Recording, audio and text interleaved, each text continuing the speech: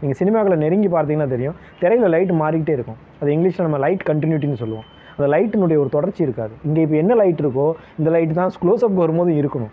இது சினிமாட்டோகிராஃபர் கவனிக்கணும். நீங்கள் இந்த படத்தில் பாருங்கள் இன்டீரியருக்கு எக்ஸ்டீரியருக்கு இது இருக்காது. இந்த படத்தில் பாருங்கள் இன்டீரியரில் ஒரு லைட் இருந்துச்சுன்னா லைட் மெயின்டைன் ஆகிருக்கு ஒரு பல்ப் இருந்துச்சுன்னா பல்பு தான் மெயின்டைன் ஆயிருக்குது. அப்போ ஒரு ஸ்லோ மோஷன் காட்சி எதுக்காக அப்படிங்கிறது ரொம்ப இதாக இருக்குது ஒரு வைட் ஆங்கிள் காட்சி எதுக்காக அப்படிங்கிறது பதிவாகுது. ஒரு க்ளோஸ்அப் எதுக்காக அப்படிங்கிறது பதிவாகுது. ஒரு ரிவர்ஸில் போய் ஒரு மாண்டாஜஸ் ஏன் சொல்கிறாங்க அது பதிவாகுது. ரிப்பீட்டேஷன்ஸ் கிடையாது. ஸோ அவ்வளோ அழகாக அந்த சினிமாட்டோகிராஃபர் எடிட்டராக இருந்ததுனால அதை பார்த்து பார்த்து பார்த்து செஞ்சுருக்குறாங்க. இந்த படத்தினுடைய நடிகனாகவும் ரைட்டராகவும் டைரக்டராகவும் இருந்த ராஜ் வந்து ரொம்ப உணர்வுபூர்வமாக அந்த கதையை எழுதியிருக்கிறாரு. அவர் வந்து நான் இந்த கதை என்னுடைய சின்ன வயசுலேருந்தே கடவுள்கள் சண்டை போடுவாங்களா? அப்படின்னு ஒரு கேள்வியில் ஆரம்பிச்சுதுங்கிறாரு. அப்போ இங்கே இருக்கக்கூடிய அந்த ஆத்மாக்கள் எல்லாருமே நம்ம மகாத்மாக்கள் தான் எல்லா ஆத்மாவும் மகாத்மா தான் ஸோ நமக்குள்ளே இருக்கக்கூடிய அந்த வன்முறையும் மற்ற விஷயங்களும் இப்போ நாம் வந்து யாருக்கு இங்கே யாருக்காடு ஏரோப்ளேன் ஓட்ட தெரியுமான்னு தெரியல எனக்கு தெரியாது. ஆனால் சொல்லி கொடுத்தா நம்மளால் ஓட்ட முடியல அதே மாதிரி தான் நமக்கு வன்முறையை தூண்டுனாங்கன்னா நம்ம வன்முறையில் ஈடுபடுவோம். இது வரைக்கும் நமக்கு சந்தர்ப்பம் இல்லை அதுக்காக அந்த சூழ்நிலை வரல நம்ம செய்யலை. அப்போ நாம் எல்லாருமே இப்போ மகாத்மாவாக இருக்கிறோம் துராத்மாவாக மாறணும்னாலும் மாறலாம். அப்போ இங்கே இருக்கக்கூடிய அரியும் சிவாவும் எப்படி ஒரு மழலைகளாக இருந்து அந்த வன்முறைக்குள்ளே வர்றாங்க ஒருத்தர் ஒருத்தர் எப்படி பயன்படுத்துகிறாங்க அப்படிங்கிறது. இப்போது அந்த நாய் பருவம்னு சொல்லும்போது நாய்க்கான பருவங்களை போய் படிச்சிங்கன்னா இந்த படத்தில் வந்து சிவானுடைய கேரக்டர் மட்டும் அந்த பருவங்களில் அப்படியே அந்த மாற்றங்கள் இருக்கும். ஒரு பீரியடில் நாய் வந்து என்ன செய்யும்னா அமைதியாகும். ஒரு பீரியடில் நாய் வந்து ரொம்ப ஆக்ரோஷமாக இருக்கும். ஒரு பீரியடில் நாய் வந்து முதலாளி சொல்லாமலே பார்த்து குலைக்கும் கடிக்கும். எல்லாரையும் எதிர்க்கும். முதலாளியே டே போதண்டா இருடா ஃப்ரெண்டுடான்னு சொல்லி கட்டுப்படுத்தினாலும் கட்டுப்படுத்தாமல் போகும் அது இந்த படத்தில் அழகாக இருக்கும் அந்த நாயினுடைய பருவம். கடைசியில் அந்த நாய் வந்து ஒரு பாயிண்டில் வந்து போதும் அப்படின்னு வீட்டுக்கு திருடனே வந்தாலுமே குலைக்காமல் வந்துட்டு போடா அப்படின்னு சொல்லி அமைதியாக இருக்கிற மாதிரி ஒரு சூழ்நிலைக்கு போகும்போது தான் இந்த படத்தினுடைய இறுதிக்கட்டமாக இருக்குது உங்களுக்கு இன்னொரு நாய் பற்றி சொல்கிறேன் நடிகர்கள் வந்து நாயை வந்து ஏன் தேடுறதுன்னா விசுவாசம் ப்ளஸ் ஆக்ரோஷம் ப்ளஸ் கடுமையான அந்த மனிதம் இருக்கும். அது மாதிரி இருந்துச்சுன்னா நன்றி உணர்வு. இன்னும் நிறைய விஷயங்களுக்கு நாயை நாய் தான் நம்ம இது பண்ணுறோம் ஹிந்தியில் வந்து ஒரு படம் வாய்ப்பு இருந்தால் பாருங்கள் அந்த ஒரு கேரக்டருக்காக இந்தியாவினோட ரொம்ப புகழ்பெற்ற நான்லாம் ரொம்ப மதிக்கக்கூடிய ஒரு நடிகர் நசீருதீன் ஷான்னு சொல்லிட்டு. அந்த நசீருதீன் ஷா நடித்த ஒரு படம். அப்படின்னா அவர் வந்து ஒரு சின்ன பாத்திரம். படத்தை இயக்குனது ஷியாம் பெனகல்னு சொல்லிட்டு ரொம்ப அற்புதமான ஒரு பெரிய மேதை. படத்தினுடைய பெயர் மண்டி. மண்டினா மார்க்கெட்டு. அது வந்து ஒரு விபச்சார விடுதியில் நடக்கக்கூடிய ஒரு கதை. அந்த வார்த்தை பயன்படுத்தலாமா இல்லைன்னு தெரியாது எனக்கு. ஸோ அந்த மாதிரி இடத்துல நடக்கக்கூடிய கதை. அந்த இடத்துக்குள்ள வந்து சபானாஜ்மிங்கிற நடிகை நம்ம இறந்து போன அவங்க சுமிதா பாட்டீல் இவங்கெல்லாம் நடிச்சிருப்பாங்க. சபானாஜி தான் அந்த விடுதியை வச்சு நடத்திக்கிட்டு இருக்காங்க. அந்த இடத்துக்கு வந்து டீ வாங்கி கொடுக்குற அரட்டவுசர் போட்ட ஒரு பையனாக ஒரு ஆளாக அதிகம் பேசாத ஒரு மாதிரி புத்தி மூளை வளர்ச்சி குன்றிய ஒரு பையன் மாதிரியான ஒரு சூழ்நிலையில் ஒருத்தர் இருப்பான். கிட்டத்தட்ட அது என்னென்னா ஏவல் நாய் மாதிரி தான் இப்படின்னா வருவான். சொன்னால் செய்வான் அப்படி. அதை தாண்டி அவன் யோசிக்க மாட்டான். ஸோ அங்கே வேலை செய்வான். அவனுடைய வேலை என்னென்னா டீ வாங்கி கொடுக்குறது சாப்பாடுக்கு தடவை வாங்கி கொடுக்குறது இது பண்ணுறது அவங்க கொடுக்குற காசை வச்சு சாப்பிட்டுட்டு படுத்துக்கிறது. ஆனால் அதே மாதிரி அவங்க அந்த அங்கே இருக்கக்கூடிய விடுதியில் இருக்கக்கூடிய பெண்கள் குளிச்சாங்கன்னா அவங்களுக்கு முதுகெல்லாம் தேய்ச்சி விடுவார். அந்த முதுகு எப்படி தேய்ச்சுனா திறத்தனியை போட்டுட்டு இந்த கையால் இப்படி தேய்ச்சி விடுவார். சோப் போட்டு விடுவார். பார்க்க மாட்டார். அப்படிப்பட்ட ஒரு கண்ணியமான ஒரு மனுஷன். இப்போ என்ன ஆயிரும்னா போலீஸ் கட்டுப்பாடு அரசியல் இந்த மாதிரியான விஷயங்களுக்காக அந்த விடுதி வந்து ஊருக்கு ஒதுக்குப்புறமாக அனுப்பி வைக்கணும்னு சொல்லிடுவாங்க இந்த பெண்கள் எல்லாமே தொழில் பண்ணுறதுக்காக ஒதுக்குப்புறமாக போவாங்க. இப்போ எல்லாத்தையும் எப்படி கூட்டு போக முடியும்? அந்த வீட்டை கூப்பிட்டு போக முடியாது. பெண்கள் எல்லாமே சேர்ந்து போவாங்க. இப்போ போகிறாங்கன்னா இந்த பெண்கள் போடுற பிச்சையில் இந்த பெண்கள் போடுற பிஸ்கெட்டில் இந்த பெண்கள் கொடுக்குற டீ மிச்ச சாப்பாட்டில் தான் வாழ்ந்துகிட்டு இருந்த இந்த கேரக்டரு நஷீன்சா கேரக்டரு அவங்க டேக்ஸிகிட்ட போய் நிற்கும் அவன்கிட்ட இப்போ என்ன சொல்லிட்டு வர்றது? உள்ளே இருந்து என்ன செய்வாங்க? சில ரூபா நோட்டில் எடுத்துகிட்டு சாப்பிட்டுக்கோ பத்திரமா இரு ஏதாவது வேலை பார்த்துக்கோன்னு சொல்லுவாங்க டாக்ஸி போயிடும் இவர் அந்த காசை பார்த்துட்டு பாரு காசு காற்றுல போகும். இப்போ இந்த ஆள் நின்றுட்டே இருப்பார். இப்போ நமக்கு ஒரு பெரிய மனச்சுமை இருக்கும் ஒரு சின்ன பாத்திரத்தில் நடிச்சிருக்கிறாரு. இந்த சின்ன பாத்திரம் இது என்ன செய்யும்? இனிமேல் இதுக்கு ஆதரவு யார்? ஒரு சொஃபஸ்டிகேட்டடாக ஒரு ரொம்ப சௌகரியத்தோடு வீட்டில் இருந்த ஒரு நாய்க்குட்டியை தெருவில் விட்டுட்டா அது என்ன ஆகும்? அதுக்கு வந்து இப்பவுமே என்ன தெருவில் சண்டை போட்டு நாயும் கூட சண்டை போட்டு சாப்பிடவும் தெரியாது. இப்போ நான் திரும்ப திரும்ப நாய் நாய்னு சொன்னேன். ஆனால் நான் அது சஸ்பென்ஸாக வைக்கணும்னு ஆசைப்பட்டேன். இந்த கேரக்டர் சொன்னதுக்கப்புறம் நடிகர் நசீர் வந்து இயக்குநர்கிட்ட கேட்டிருக்காரு. ரொம்ப நல்லா இருக்குது ஆனால் நான் என்ன பண்ணுறேன்னு எனக்கு தெரியல அப்படின்னு இருக்காரு. நான் என்ன நடிக்கணும்? என்ன உணர்வில் இருக்கணும்? நான் இந்த கேரக்டராக எனக்கு புரியுது. ஆனால் எனக்கு ஒரு ஒரே பாயிண்டில் ஏதோ ஒன்று இடத்துல அடைச்சிக்கிட்டு இருக்குது. அப்படியே மடை திறந்து ஓடணும். பர்ஃபார்மன்ஸில் பின்னி எடுக்கணும். ஏதோ ஒரு இடத்துல தேங்கி நிற்கிறேன் அது என்னென்னு எனக்கு புரியல அப்படின்னு சொன்ன உடனே எல்லாத்தையும் கேட்டுட்டு நான் உன்கிட்ட சொல்லாத ஒரு விஷயம் இருக்குது. இன்னும் ரெண்டு நாளில் ஷூட்டு அப்படின்னு தோளில் கை வச்சுட்டு இந்த படத்தில் நீ நாய் அப்படின்னு சொல்லிட்டு போயிட்டேன். அதுக்கப்புறம் அவர் நாயை பார்த்தீங்கன்னா இன்னும் அந்த படத்தை பாருங்கள் நாயை நடிச்சிருப்பார். இப்போ நீங்கள் சிவா கேரக்டர் அந்த படத்தில் பாருங்கள் நாயினுடைய அத்தனை பருவங்களும் தெரியும். அவங்க அதை குறிப்பிட்டிருந்தாங்க. கடைசியில் வந்து ஒரு குலைக்கிற ஒரு விஷயம். ஸோ சிவா சாகிற ஒரு விஷயம். ஒரு தெருநாய் மாதிரி சாகப்பட கொல்லப்படுற ஒரு விஷயம். அது எல்லாமே அப்படியே வரும். இப்போ யாருக்கு விசுவாசனமாக இருந்தான் எஜமானுக்கு?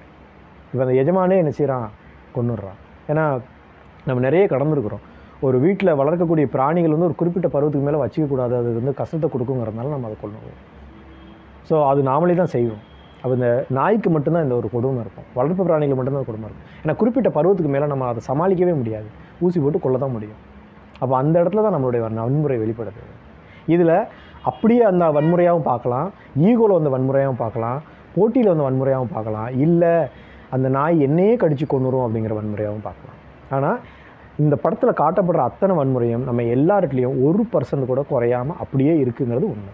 அதை நீங்கள் பார்த்தீங்கன்னா உங்களுக்குள்ளே இல்லாட்ட நமக்குள்ளே நாம் வச்சுருக்கக்கூடிய வன்முறையோட அளவை மதிப்பிட்டுக்கிடலாம். படம் முடியும் போது ஓகே எனக்கு இந்த லெவல் இருக்குது எனக்கு இந்த லெவல் இருக்குது அப்படிங்கிறத இது பண்ணிக்கலாம். அவ்வளோ ஒரு அழகான நேர்த்தியான ஒரு படம். இதில் குறிப்பிட்டதுக்கு நிறைய இருக்குது. ஆனால் அந்த படமாக பார்க்குற அனுபவம் கெட்டு போயிருங்கிறதுனால நான் விட்டுறேன். விட்டுடுறேன் இதில் இசை வந்து மிதுன் முகுந்தன் அப்படின்னு ஒருத்தர் படத்தொகுப்பை பற்றியும் ஒளிப்பதிவு பற்றியும் சொன்ன பிரவீன் ஸ்ரீயன் வந்து முகுந்தனுடைய இசை வந்து இந்த படத்தில் ரொம்ப தனித்துவமான ஒரு இசை. பதினாலாம் நூற்றாண்டில் இருந்த அந்த யார் இந்த புரந்தர தசான்னு சொல்லிட்டு ஒருத்தர் அவருடைய கீர்த்தனைகள்லேருந்து ரெண்டு கீர்த்தனைகள். நான் நேற்று இரவும் கேட்டேன். அவ்வளோ அற்புதமான கீர்த்தனைகள்.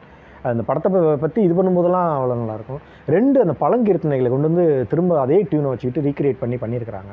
அதை வந்து அந்த இயக்குனர் குறிப்பிடும்போது என்ன சொல்கிறாருன்னா இந்த படம் வந்து ஒரு சாதாரண இதில் போயிடக்கூடாது. இந்த படத்தினுடைய முதல் பாடலை பற்றி ரொம்ப அழகாக அவங்க குறிப்பிட்டாங்க. நான் அதனால் அதில் நீட்டி முளைக்கு சொல்லலை. அதில் ஒரே ஒரு விஷயம் சொல்கிறேன்னா அந்த பாடல் வரிகள் இல்லைன்னா டிசில்வா தான் எழுதியிருக்கிறாரு. ரொம்ப அற்புதமான கன்னட பாடலாசிரியர்.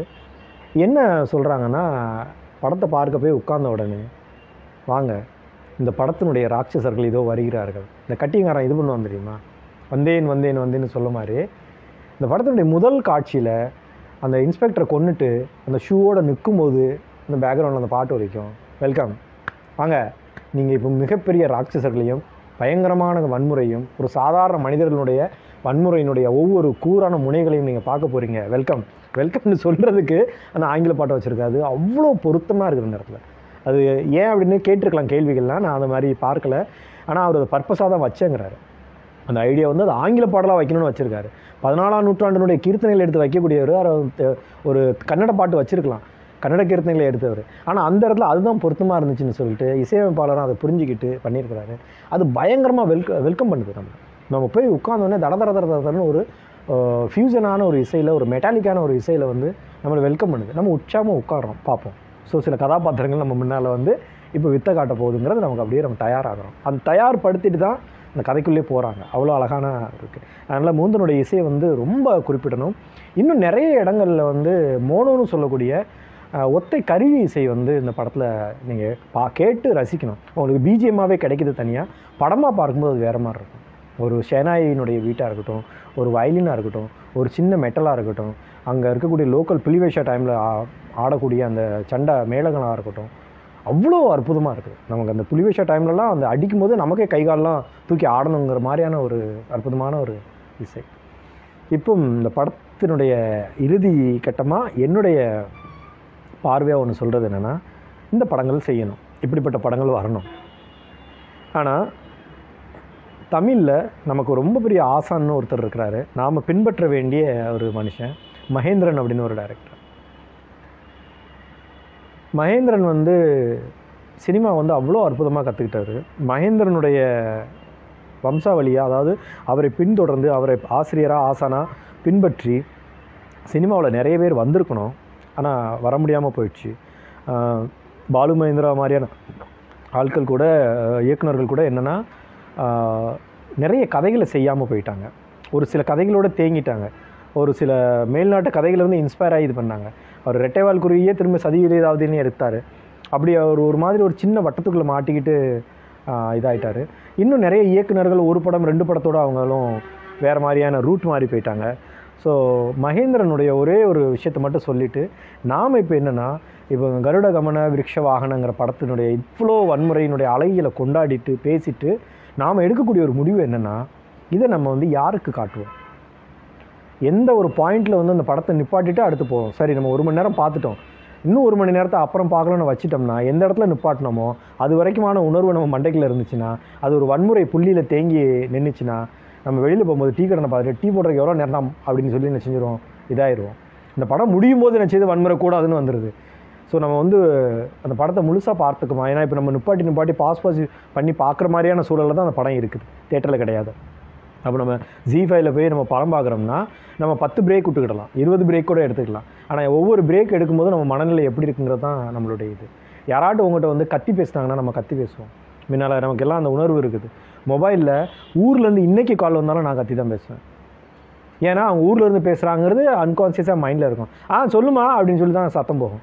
இங்கே உட்காந்து பேசிகிட்டு இருக்கும்போது சென்னையில் எங்கடா இருக்கிற? அப்படின்னு போனாங்க இல்லை நான் பக்கத்துல தான் இருக்கேம்மா. இந்த குரல் இங்கே மாறிடும்.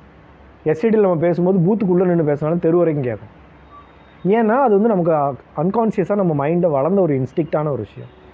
அப்போது உதிரிப்பூக்கள் படத்தில் வந்து அந்த ஊரில் அவ்வளோ அநியாயமாக அவ்வளோ அழிச்சாட்டியம் பண்ணக்கூட ஒருத்தன் ஊரே திரண்டு அவனை கொல்ல வருது. அந்த மாதிரி தான் அந்த படம் முடியுது. அது எப்படி முடியுங்கிறத விட்டுறலாம். ஆனால் அந்த படத்தில் ஒரு டிஷ்ஷும் சவுண்டு கூட இல்லாமல் இந்த டிஷ்ஷும் சவுண்டை மாற்றி விட்டது இளையராஜா. அதனுடைய ரொம்ப முக்கியமான சவுண்ட் டிசைனில் இன்றைக்கி இந்தியாவை புரட்டி போட்ட ஒரு படம் வந்து தமிழில் உதயம் ஹிந்தியில் வந்து சிவா அப்படின்னு ஒரு படம். அந்த படத்தை இயக்குனது வந்து ப ராம்கோபால் வர்மா அவருடைய முதல் படம். அந்த படத்தை நீங்கள் சவுண்ட் டிசைனிங் பார்த்தீங்கன்னா இன்றைக்கி அந்த சவுண்ட் டிசைனிங்கை டச் பண்ணுறதுக்கு ஆள் இல்லை. அந்த படத்தினுடைய சவுண்ட் டிசைனிங்கை பார்த்துட்டு நிறைய பேர் போய் அவர்கிட்ட வந்து இந்த உங்கள் கூட ஒர்க் பண்ண சவுண்ட் டிசைனர்ஸ் யாருன்னு இது பண்ணாங்க. அதில் முதல் முதல்ல அவர்கிட்ட போய் நின்ன ஆள் வந்து ஆபாவனன் ஒருத்தர். உதயம் படத்தில் வந்த உடனே உனக்கு இருந்த சவுண்ட் டிபார்ட்மெண்ட் எனக்கு வேணும்னு சொல்லி அதே டிபார்ட்மெண்ட் அப்படியே கூப்பிட்டு வந்து வச்சு செந்தூர் பூவி இன்னும் சில படங்கள்லாம் பண்ணார். நீங்கள் இப்போவும் செந்தூர் பூவில் நீங்கள் பார்த்தீங்கன்னா சவுண்டே வேறு மாதிரி இருக்கும். ட்ரெயின் சவுண்ட் வேறு மாதிரி இருக்கும். ட்ராலி சவுண்ட் வேறு மாதிரி இருக்கும். ரன்னிங் சவுண்ட் வேறு மாதிரி இருக்கும். இணைந்தகைகள் பார்த்தீங்கன்னா அப்படி இருக்கும் சவுண்டு இன்னும் அந்த சவுண்டு கிட்ட நம்ம போகவே இல்லை. சவுண்டு வந்து படத்துக்கு உயிர். மூணே ஒரு விஷயம் தான். விஷுவல் இருக்கணும் சவுண்ட் இருக்கணும் இமோஷன்ஸ் இருக்கணும். இந்த படத்தில் அந்த மூணுமே இருக்குது. நல்ல நீங்கள் சிஸ்டம் வச்சு பார்த்தீங்கன்னா தெரியும். அப்போது உதிரிப்பூக்களில் ஒரு காட்சி சரத்பாபுங்கிற கேரக்டர் விஜயனுங்கிற கேரக்டரு ரெண்டு பேரும் வர்றாங்க. விஜயனுங்கிற கேரக்டர் வந்து விஜயன் கேரக்டர் வந்து என்ன செய்யுதுன்னா அந்த ஊர்லேயே நான் சொல்லிட்டேன் பயங்கர அழிச்சாட்டியம் பண்ணிவிட்டு அவனை கொன்னூர் உண்டான்னு சொல்லி ஒவ்வொரு மனுஷ மனசுலேயும் மன்மத்தை விதைச்ச ஒரு ஆள். இப்போ கடுமையான ஒட்டுமொத்த ஊரினுடைய அவ்வளோ கோவத்தையும் திரட்டிக்கிட்டு சந்த சரத்பாபு வர்றாரு. எங்கே? ஆத்தங்கரையில் குளிக்கிறக்கு அவர் நின்றுட்டு இருக்காரு வந்துட்டு அடித்து கொண்டுடலாம் அப்படிங்கிற ஒரு சூழ்நிலை வந்து நின்றுட்டு அவரை ஏற்கொண்டு பார்க்குறாரு. பார்த்துட்டு இப்போ ரெண்டு பேரும் பார்க்குறாங்க ஆத்தங்கரை இருக்குது ஆற்றுல தண்ணி ஓடிட்டு இருக்குது. ஒரு சின்ன பையன் மணலில் விளாண்டுட்டு இருக்கான். ஒரு அம்மனமாக அவன் பார்வையில் கேமரா போகுது. அவனுடைய ஆங்கிள்லாம் இவங்க ரெண்டு பேரும் நின்றுட்டு இருக்காங்க. அவன் பார்க்குறான் என்னடா ரெண்டு பேருக்கும் டயலாக் போயிட்டு இருக்கு. அவங்க டயலாக் எப்படின்னா இப்போ என்ன பண்ணுங்கிற அப்படின்னு சொன்ன உடனே நம்ம அடிப்போம்ல அந்த சூழ்நிலையில் இருக்குது. இப்போ கேமரா அங்கே இருந்துட்டு பையன் மூஞ்சிக்கு போகுது. மண்ணில் விளாண்டுட்டு இருந்த பையன் ஒரு பார்வை பார்க்குறான். நிமிடுறான் பார்த்துட்டே இருக்கான். அடிச்சு பிறண்டு ஓடுறான். குட்டு குட்டு குட்டு குட்டு மணலில் வேகமாக ஓட முடியாது. நான் அவ்வளோ வேகமாக ஓடுறான். பையன் ஓடி மறைஞ்சோடனே கட் பண்ணிட்டு நீங்கள் இங்கே வந்தீங்கன்னா ஆற்று சத் தண்ணி சத்தம். ஆறு ஷார்ட்டு புல் பேக் பண்ணோம்னா ரெண்டு பேர் உட்காந்துட்ருக்காங்க சட்டை கிழிஞ்சி தாடையில் ரத்தம் ஒழுகி அவனுக்கு இதாகி நாக்கீரெல்லாம் ஆகிட்டு ரெண்டு பேரும் மூச்சு வாங்க உட்காந்துட்ருக்காங்க ஒரு டிஷ்ஷும் கிடையாது. இந்த படத்தை நான் வந்து எந்த ஒரு சினிமா அறிவில்லாத எங்கள் அம்மா பார்க்குறோம். எங்கள் அம்மா அப்படியே பார்த்துட்டே இருந்து சொல்லுவாங்க அடிச்சுக்கிட்டாங்களாப்பா? அப்படிங்கிற. இப்போ இந்த வன்முறையை எப்படி காட்டிருக்காரு பாருங்க. எவ்வளோ பெரிய ஒரு ஃபைட்டை ஒரு நாலு கட்டில் காட்டிருக்காரு. காஸ்டா காஸ்டா கேவராஸ்னு சிஓஎஸ்டி ஜிஏவி ஆர்ஏஎஸ்னு காஸ்டா கேவராஸ்னு சொல்லிட்டு ஒரு டேரக்டர் இருக்கார். அவருடைய படங்கள் பாருங்கள் ஆக்ஷனுங்கிற ஜானரில் தான் இருக்கும். படத்தில் சண்டே இருக்காது. சண்டே இல்லாமல் எப்படி ஒரு ஆக்ஷன் ஜானரை எடுக்க முடியும்? பாருங்கள் அவர் எடுத்த ஒரு படத்தினுடைய ரீமேக்னு சொல்ல முடியாது. அந்த நாவலை தழுவி நான் ஒரு நாவலில் ஒரு படத்தில் ஒர்க் பண்ணேன் ஷாங்காய்னு சொல்லிட்டு. அதில் கோ ரைட்டராக நான் இருந்தேன் ஸ்க்ரீன் ரைட்டராக ரொம்ப பிடிச்ச ஒரு படமாக இருந்தது. நாங்கள் ஆனால் நிறைய விஷயங்கள் பண்ணோம் பாம் பண்ணோம் எல்லாம் பண்ணோம். ஆனால் அந்த படம் எனக்குள்ளே இருந்துக்கிட்டே இருக்குது இன்னும். அந்த படத்தில் வந்து கடுமையான ஒரு அரசியல் பொலிட்டிக்கல் சட்டாயர் அந்த படம். அந்த படம் வந்து ஆக்ஷன் கேட்டகரியில் இருக்கும். படத்தில் ஒரு சண்டையை பார்க்க முடியாது. ஒரே ஒரு ட்ரக் சேஸ் மட்டும் தான் இருக்கும்.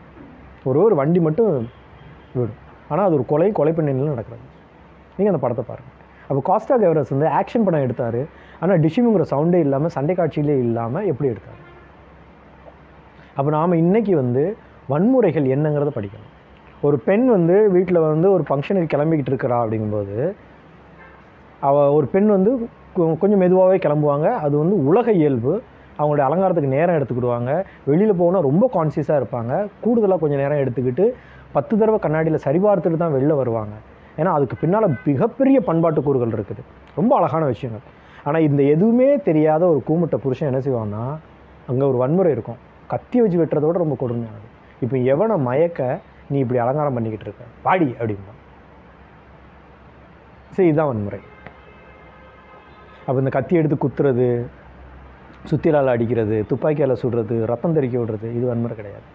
வன்முறை எப்படி நிகழ்த்தப்படுதுன்னு பாருங்கள் ஸோ இந்த இடத்துல அங்கே ஒரு இன்விசிபிள் ப்ளீடிங் நடக்குது. அந்த பொண்ணு செத்துருவா. பத்தா சாரி ஒன்று மயக்கத்தாண்டா இது. உனக்காக தாண்டா அந்த அலங்காரம். அப்படின்னு அவளால் சொல்ல முடியாது.